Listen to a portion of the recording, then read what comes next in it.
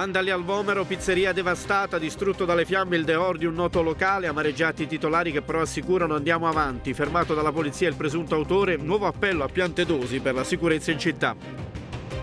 Gestione rifiuti in Campania svolta sempre più vicina. Vincenzo De Luca inaugura il nuovo impianto di compostaggio di Salerno e annuncia entro il 2024 stop alla procedura di infrazione dell'Europa. Poi nuove accuse al governo su sanità e taglio dei fondi per la cultura.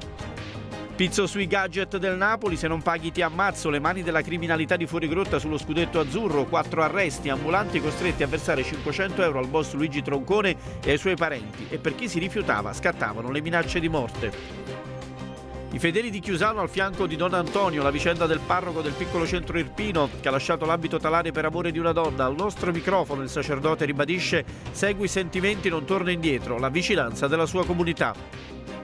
Agricoltori in presidio, appello alla Regione, prosegue ad oltranza la protesta dei trattori del Sagno, il comparto in lotta chiede il sostegno dei sindaci e lancia un SOS all'assessore Nicola Caputo, ma intanto il fronte si divide, spaccatura tra le associazioni di categoria.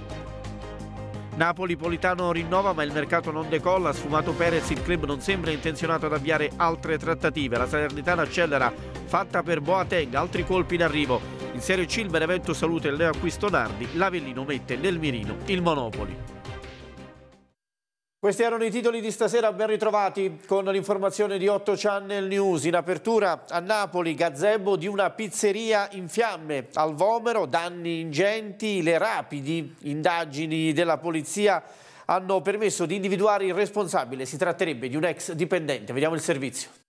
Un incendio divampato nella notte ha completamente distrutto un gazebo installato in via Scarlatti, nel cuore commerciale del quartiere Vomero, che ha distrutto la struttura di una pizzeria. A intervenire per primi è stata una pattuglia della polizia locale che era in transito nella zona di Piazza Vanvitelli. Il personale della municipale ha delimitato l'area e ha provveduto ad allontanare una persona che si trovava nei pressi del gazebo invaso dalle fiamme. L'incendio è stato spento grazie all'immediato intervento dei vigili del fuoco che hanno scongiurato ulteriori danni. Uh, ci hanno danneggiato la parte esterna che adesso dovremo rifare e ricomprare. Io non ho sospetti perché una cosa del genere, non avendo nemici, non avendo avendo nessun tipo di, di problemi con nessuno non saprei a chi l'abbia potuto fare, però la polizia sta acquisendo tutti i vari filmati della zona e credo e spero che insomma, risalga a chi ha potuto fare una, una cosa del genere. Intanto da una prima analisi delle immagini di videosorveglianza sembrerebbe confermare l'ipotesi dolosa. La polizia ha individuato e sottoposto a fermo di polizia una persona. Secondo quanto emerso dalle rapide indagini degli investigatori, il movente non è riconducibile a dinamiche criminali o rivalità tra commercianti della zona, quanto a un litigio con un ex dipendente. Ma resta la sostanza di un'emergenza sicurezza su cui chiediamo ancora una volta attenzione e risposte. Così, in una nota congiunta, Gennaro Acampora e Maria Maria Grazia Vitelli, consiglieri comunali di Napoli. Svolta in campagna sui rifiuti, lo ha annunciato il governatore Vincenzo De Luca a margine della consegna del nuovo impianto di compostaggio a Salerno. La struttura, auspicato De Luca, permetterà alla Regione entro la fine dell'anno di eliminare l'infrazione dell'Unione Europea di 120.000 euro al giorno. Sentiamo Sara Botte.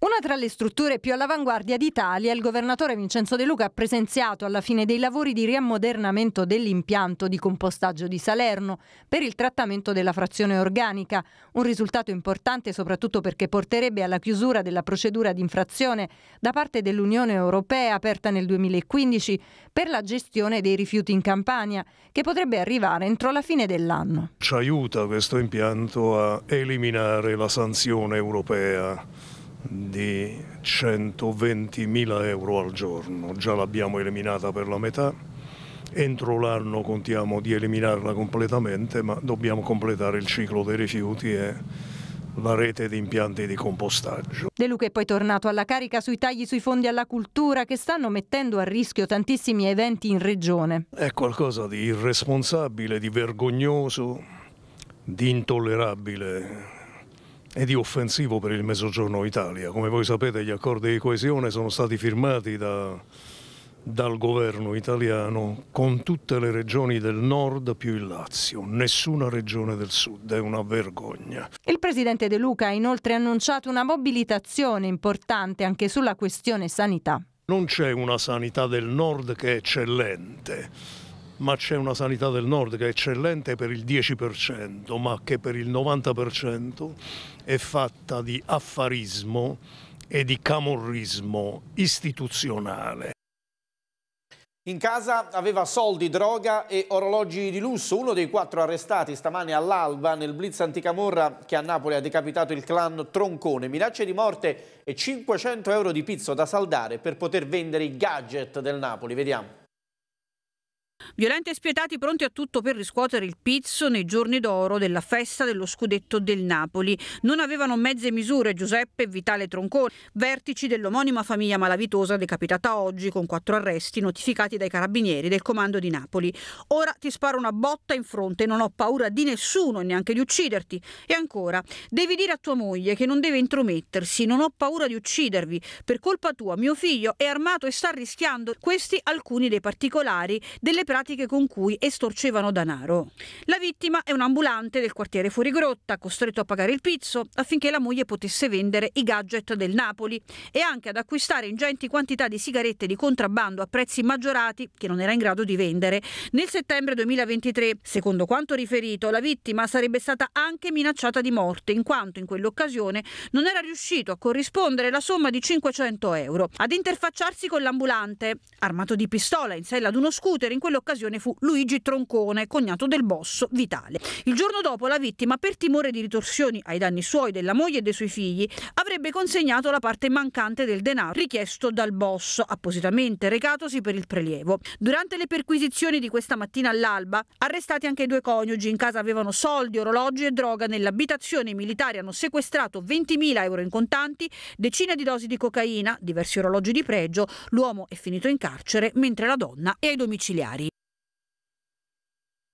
Andiamo nella Vellinese adesso a Chiusano San Domenico, a 8 Channel parla Don Antonio Romano, il parroco che ha annunciato di lasciare l'abito talare per essersi innamorato di una donna. In paese non si parla d'altro, molti concittadini sono con lui e lo rispettano. Vediamo. Sono fiero di voi. Don Antonio Romano, il parroco di Chiusano San Domenico, che ieri sul suo profilo Facebook ha annunciato di essere innamorato di una donna e per questo lascerà il ministero sacerdotale, ringrazia i suoi ormai ex parrocchiani per gli auguri e gli attestati di stima che gli sono stati rivolti. Ed effettivamente in paese ormai non si parla d'altro. Come la vita capo che si è fatto non è 50 anni su. Giustissima. La vita è fatta così. Ognuno deve scegliere quello che vuole. Un ottimo prete fino a questo momento poi che Dio lo benedice. Io sono in contrario, assolutamente, perché lui è giurato innanzi a Gesù Cristo, no? E doveva stare a posto suo. Un travaglio interiore, una decisione maturata a lungo e sofferta. Non posso tradire la mia natura e andare contro i miei sentimenti, ha detto, annunciando che presto, dopo la sentenza della Sacra Rota, si sposerà. Ma Don Antonio continuerà a stare dalla parte degli ultimi e di chi soffre. Farò il missionario laico, eh, visto non potrò farlo da prete, continuerò a fare eh, questa missione che porta avanti da più di dieci anni, eh, di andare ogni anno in Africa per aiutare i bambini del Burundi. Per il parroco poi è arrivato il momento che la Chiesa si apra ai preti sposati. Penso che sia è arrivato anche il tempo maturo per eh, rivederlo e di imitare anche la Chiesa ortodossa, no? eh, anche se ovviamente limitato perché il prete sposato ha una famiglia, una moglie e figli, ma io penso che eh, metà prete è meglio di zero rispetto a, alle vocazioni che non ce ne sono. Ma anche in quel caso, nel caso di una chiesa che apre ai preti sposati, nessun ripensamento. Mi sentirei ingabbiato nella mia libertà. Andiamo a Cicciano, concorso pubblico truccato e corruzione per concessioni edilizie, arrestati l'ex sindaco Corrado e due consiglieri comunali. Vediamo. L'ex sindaco di Cicciano, Gianni Corrado, in carica fino al 2023, figura tra i quattro arrestati dai carabinieri nell'ambito di un'indagine su presunte irregolarità in un concorso pubblico. Con lui sono finiti in manette due consiglieri comunali del comune del Napoletano, attualmente in carica, e un imprenditore. I quattro indagati sono indiziati in concorso del reato di induzione indebita a dare o promettere utilità. Corrado era già stato sottoposto agli arresti domiciliari per un'altra causa. Nello scorso settembre era era stato coinvolto in un'inchiesta per corruzione, concussione e falso in atto pubblico insieme a un funzionario comunale e un imprenditore. Nel corso dell'operazione è stato eseguito anche un decreto di perquisizione e sequestro nei confronti di un imprenditore edile indagato nella stessa inchiesta ma non raggiunto da misura cautelare. Le indagini che hanno portato all'ordinanza eseguita oggi sono state condotte dal NOR della compagnia di Nola da agosto 2022 fino a giugno 2023 con il supporto dei carabinieri della stazione di Cicciano e nate da alcune irregolarità rilevate in un concorso pubblico al comune. Secondo la ricostruzione degli investigatori e avallata dalla procura, ci sarebbe stato un accordo corruttivo per l'ottenimento in debito di un'autorizzazione edilizia riguardante una vasta area industriale nel territorio comunale. Le risultanze investigative hanno portato all'ordinanza di misura cautelare personale poi emessa dal Tribunale di Nola.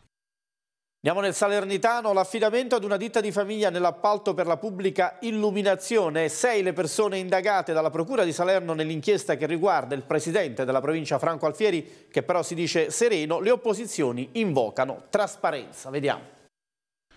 Sono sei in tutto le persone destinatarie di un avviso di garanzia da parte della Procura di Salerno che ha acceso i riflettori sulla gara d'appalto per la pubblica illuminazione nel comune di Capaccio Pestum. Tra queste anche il sindaco e presidente della provincia Franco Alfieri. Nel mirino della Guardia di Finanza l'affidamento ad una società di famiglia di proprietà della sorella di Alfieri. Dopo le perquisizioni delle fiamme gialle, l'esponente politico si dice tranquillo. Io continuo a lavorare con grande serenità perché io devo dar conto alla fiducia dei cittadini e io ho fiducia nelle istituzioni, nella magistratura, negli organi che fanno il loro mestiere e il loro dovere.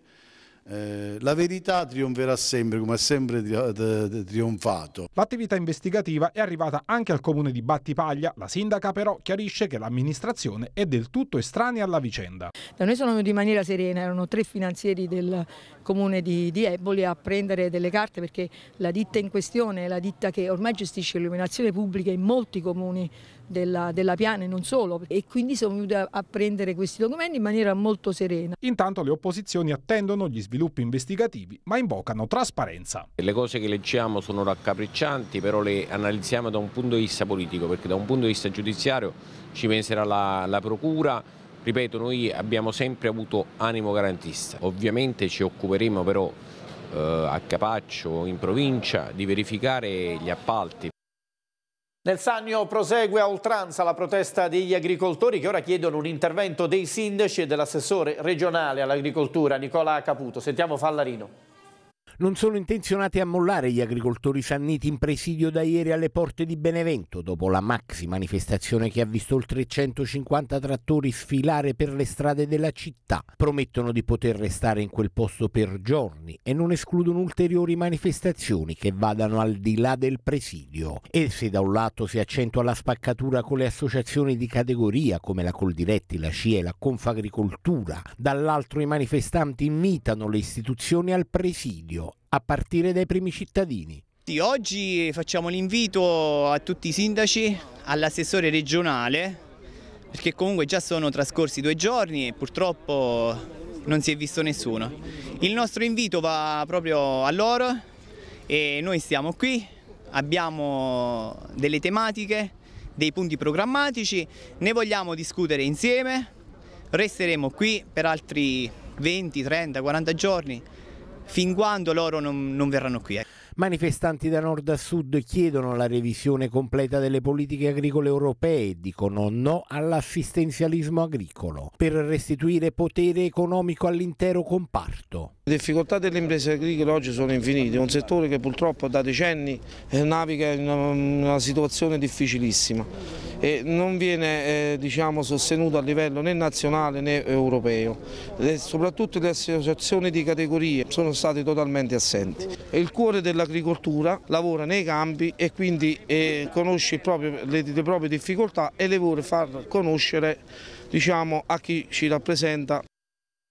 Aveva minacciato la donna con la quale aveva avuto una breve relazione di pubblicare i video girati ad insaputa della compagna. Un 57enne della provincia di Avellino è stato arrestato dai carabinieri su richiesta del procuratore capo Domenico Airoma. Le indagini erano scattate nell'ottobre scorso. Al via Secondigliano il Festival di Letteratura BIS, istituzioni, associazioni e ragazzi uniti per portare la lettura nelle strade di Napoli. Vediamo.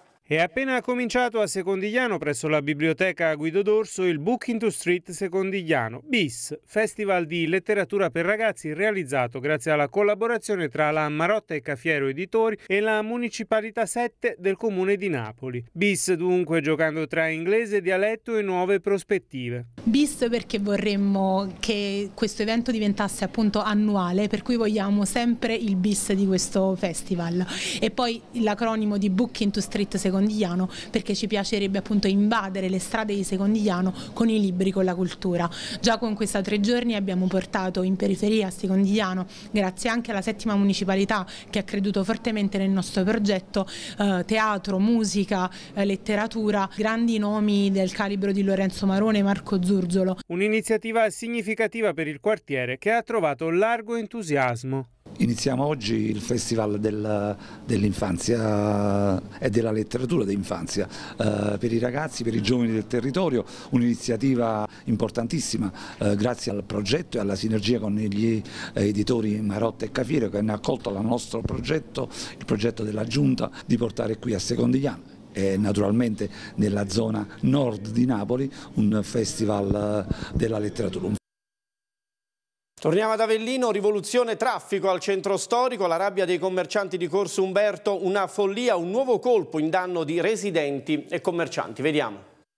Rivoluzione traffico nel centro storico di Avellino a Corso Umberto, che sarà la porta di accesso della città per chi arriva da Tripalda con senso unico a salire per le auto e a scendere invece per la metro leggera. Noi abituati a camminare a destra, dobbiamo camminare a sinistra. Poi se non ci sta il parcheggio, le nostre attività muoiono. Intanto nella parallela lungo via Circonvallazione, zona conservatorio, le auto potranno invece scendere in direzione a Tripalda, mentre la metro leggera potrà salire in direzione centro. I posti auto in questo caso sono ormai pochi perché essendo a senso unico era più facile almeno accostarsi per, per le attività commerciali 5 minuti e fare la spesa e poi andare via. Un po' di amare in bocca ci sta perché dopo sei mesi di sofferenza ora quest'altra batosta. Ma i commercianti sono su tutte le furie per una scelta che a loro dire penalizzerà gli affari e congestionerà la zona. Sicuramente da rivedere perché via circonvolazione è, è a salire e corso Umberto I a scendere era la, la circonvalazione naturale. Credo che bisognerebbe fare eh, dei correttivi affinché eh, siano allo stesso tempo eh, date delle risposte sia alla fluidità del traffico sia comunque agli interessi del cittadino. L'appello è per il sindaco affinché riveda la decisione, magari confrontandosi con i commercianti.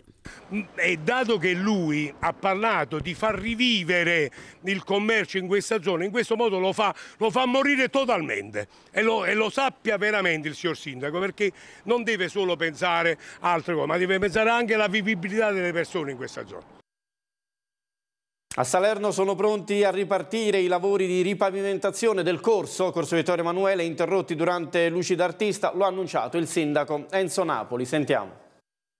Dopo la pausa natalizia dovuta alla manifestazione, Lucida Artista è pronto a ripartire il cantiere per la ripavimentazione di corso Vittorio Emanuele a Salerno. A dirlo il sindaco Vincenzo Napoli, che ha illustrato gli interventi di restyling in programma in città prima dell'estate e della ripartenza della stagione turistica. Sul corso credo che ripartiremo fra una ventina di giorni con eh, lì ci sono dei problemi di sottoservizi che non erano stati valutati e questo ha comportato anche la chiusura durante i luci d'artista perché il, quel pezzo di cantiere doveva essere consegnato prima dell'inizio dei luci d'artista.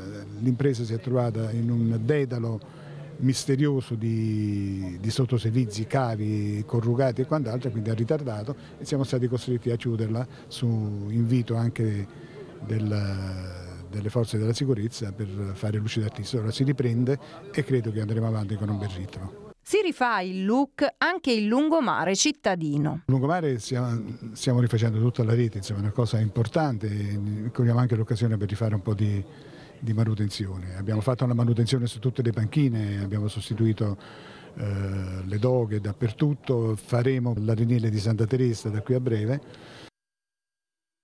Riunione dei genitori e della dirigenza della scuola Torre a Benevento per scongiurare l'ipotesi di trasferimento degli studenti in corso d'anno. Ascoltiamo i dettagli con Maria Teresa De Lucia. Erano pronti a portare la questione all'attenzione del ministro Valditara, ma le rassicurazioni espresse dal comune hanno finalmente placato gli animi di genitori e dirigenza che questo pomeriggio si sono riuniti per discutere le sorti degli allievi dell'Istituto Federico Torre di Benevento. Sembra scongiurato infatti il rischio di un trasferimento degli studenti ad anno in corso per consentire i lavori di rifacimento dell'edificio. È quanto chiariscono il sindaco Clemente Mastella, l'assessore alle opere pubbliche Mario Pasquariello ed il consigliere delegato all'istruzione Marcello Marcello Paladino, spiegando che i lavori saranno consegnati entro la data del 31 marzo per rispettare i tempi del finanziamento del PNRR, ma la ditta ha assicurato che le attività didattiche fino alla fine dell'anno scolastico proseguiranno nello stesso plesso scolastico. Immaginare un trasferimento eh, come era stato paventato, da, ripeto, in, eh, in occasione della riunione eh, che c'è stata a Palazzo Mostra il 22 gennaio sarebbe stato assolutamente e tecnicamente impossibile eh, pena l'invalidamento dell'anno scolastico perché abbiamo una soglia minima di lezioni, giorni di lezione che deve essere raggiunta e non sono previste deroghe se non per eventi particolari come cataclismi o eventi atmosferici particolarmente avversi. Eh, io avevo avuto comunque eh, rassicurazioni da parte della, della, degli assessori competenti che l'anno scolastico si sarebbe chiaramente concluso prima ancora di questo, finalmente di questo chiarimento scritto da parte dell'amministrazione che tranquillizza un po' tutti, giustamente. La cultura, a Napoli nella Cappella San Severo è stata inaugurata la mostra Haravec dedicata alle intuizioni e alle invenzioni del principe di San Severo. Sentiamo Filippo Notari. 14 tavole a colori consentiranno di rivivere i principali esperimenti del principe di San Severo e di esplorare in maniera inedita le sue invenzioni. È dedicata interamente a Raimondo di Sangro la mostra Aravec, inaugurata oggi nella Off Gallery del Museo Cappella San Severo di Napoli. Le intuizioni del principe sono state riprodotte dall'artista Daniela Pergreffi su richiesta della direttrice museale Maria Alessandra Masucci. Il progetto ha l'obiettivo di fornire per la prima volta una rappresentazione visiva dei principali esperimenti del principe, i farmaci miracolosi, le gemme artificiali, il vetro colorato, il lume perpetuo, la riproduzione del miracolo di San Gennaro e tante altre, oltre alle 14 tavole all'interno della navata della cappella San Severo Severo sarà esposta l'illustrazione della carrozza marittima affiancata all'incisione settecentesca originale. La mostra aperta al pubblico proprio a ridosso del compleanno del principe di San Severo sarà aperta fino al 4 marzo. È tutto per questa edizione serale di 8 Channel News. Grazie regia ad Orlando Matarazzo. Buona serata, arrivederci.